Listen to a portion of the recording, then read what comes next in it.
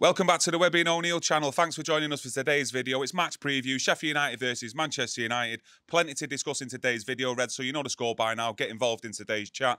First of all, United have had up and down form, let's face it. Yeah. But surely this is a game we expect the three points. Yeah, well, we expect it. It's vital. A win is vital. We cannot hmm. entertain anything but a win. We've got four games now in the space of just over 10 days, uh, and this is the start of it, and we have to win. I, I just can't entertain anything but a win. So Erik Ten Hag has got to get this spot on. We'll get further updates on Friday from his press conference. Yeah. But on international duty, had Casemiro picked up an injury. Amrabat as well. There's rumours that he's picked up an injury as well with withdrawing from the squad on Tuesday night. So in that midfield area, is it Scott McTominay for you that comes in? Well, you, you've got all international duty injuries are there. Erik Ten Hag, he'll look at it, he'll assess it, and I think he'll have an eye on Tuesday's game. Yeah. I don't think he'll risk players, to be honest with you, uh, who might have a slight injury. So you might see Casemiro and Amrabat. Amrabat being withdrawn the other night from Morocco team, uh, unspecified uh, injury. So that that is a worry. Casemiro didn't train over the weekend. So who goes in midfield? Well, I'm not sure of how he's going to set up in that midfield, but I'll tell you what, Scott McTominay has forced his way in, as far as I'm concerned, into that team with his performance there against Brentford. Yeah, I totally agree. And with you saying that, looking forward to Tuesday night, that's a massive game as well for Copenhagen. We need to get three points on the board there in the Champions League. Yeah. So could you possibly see maybe a midfield two with Eriksen and Scott McTominay? Yeah, you, you can see that uh, Sheffield Sheffield United away. I can see that, and Tuesday night is vital. And like I say, Erik Ten Hag will have an eye on it. He's got four games there, and this is the start of the four games. And to be honest, they're all must wins.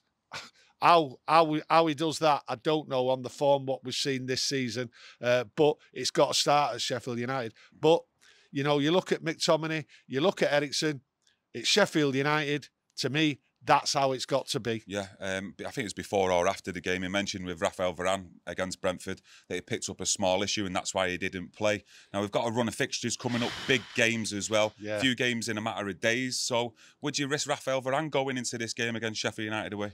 Well, it's, it's got to get the game in. And if he starts, you've got to say to yourself, who does he partner? Yes, there is a shout uh, for Harry Maguire uh, and another centre half. Uh, which one? I'm not sure. Jonny Evans in there as well. Every time he's played, Lindelof. Man United have won the game this season. Burnley and Brentford. Yeah, Well, put some some solid performances in as well. So surely he's in for a shout. well, you know, you look at Jonny Evans's performance against Burnley away, absolutely fantastic, and it might be that type of game again. Mm. Uh, so you just don't know. Varane, will he risk him? That is the question. But if he does put uh, Varane in, then who does he who does he partner with? Uh, I, I, it has to be Lindelof as far as I'm concerned. But I think what he might do, he might wait till Tuesday night. We you know we've got the City game coming uh, the following weekend. Then we've got Newcastle in the cup. Yeah. So he, he might just wait. This is all all the news we're going to be waiting for tomorrow uh, wh- when we do our video and that. So we'll get the updates. But who partners Varane? Will he play? We'll have to wait and see. But I prefer, to be honest with Yeah. you, Go on, give it, mate. Who would you prefer in the centre half position? I want Varane and Lindelof there. Yeah. Uh, and I'm not really bothered about the other games coming up. I think you've got to take one game at a time.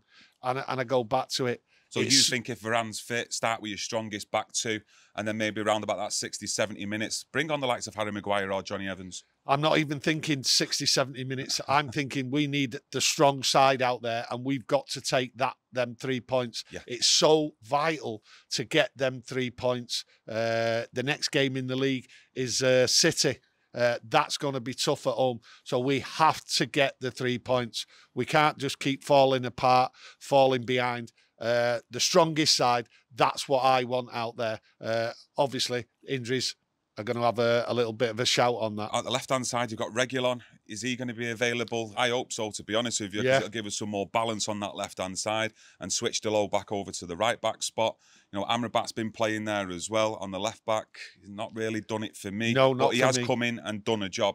And you can see he's got the personality to play wherever the manager wants him, but you can clearly see it's not a position he's going to be used to or to be effective in big games going forward in the season. But going more to up top, Bruno Fernandes, always nailed on to start. Yeah. On the right hand side, Antony comes back in for me. He should start. Mm. Uh, there's no reason why he shouldn't start. Uh, yes, Antony, yeah, solid performer out there, keeps hold of the ball, will look for the ball. People out there, you know, even ourselves, uh, we want a little bit more from him. But uh, he's in the he's in the starting eleven without a shadow of a doubt. And then I've got to look on the left hand side. Uh, Rashford got to come in, uh, got to do the business, uh, and then you look at the centre forward position. I think this is a big game for Rashford though, because if you look at the previous two games, Ten Hag's actually been hooking him off round about that 60 to 70 minute mark for Garnacho, who when has come on, he's made an impact or is at least impressed in terms of his work rate, his work ethic tracking back, but also going forward, always looking at creating, getting his head up, trying to look for players in the box. Listen, there's always going to be that. Uh, well, I say argument. Uh, that Comparison. that that debate about Garnacho, uh, Rashford's form, is he is he on it and all that. But you know, I don't see anything uh, getting in the way of Rashford being on that uh, starting eleven against Sheffield United. I think he'll have a good game. Uh, I think he'll be looking for it, and the reason why is I, I think being in that England camp and his performance the other night, I think he'll be uh, looking and raring to go for this. So the debate will go on Yeah. Especially with the way we're playing, the results we're getting. It will always be there. But I think what's the name after the England performance, what he put in the other night, I think Rashford uh, will be right up for this. I've, I've no worries for him. Yeah, I agree with you. I think we need to start our strongest possible 11 for this one. Yeah. Let's see if that game against Brentford in the manner in how we won it is a turning point in our season to give the lads momentum going forward, Yeah. to start picking up wins, getting points on the board. And like we said there before, we've got some big important games coming up. So Yeah. if Rashford can start this one and get some confidence as well, we've seen how bad his confidence was against Galatasaray instead of shooting when he was one on one, looking for Bruno Fernandes to square the ball. If he can get on the score sheet once or twice, or at least get a couple of assists in this game, I'm sure that'll give him momentum and confidence going forward into the big games. Yeah, I, I, I think when you when you look at momentum and confidence, I think what has to happen here, uh, the one the one thing I will be clearly looking at is Bruno's performance. I think he needs to put in a captain's performance. International duty players won't really have had that much time training together. Uh, so at Sheffield United, Bruno has to put in a captain's performance and get them three points. Uh, they are so vital. But Bruno, to me, he's the one everyone should have their eye on. Main man up front, Rasmus Hojlund has to be done it. Was it San Marino?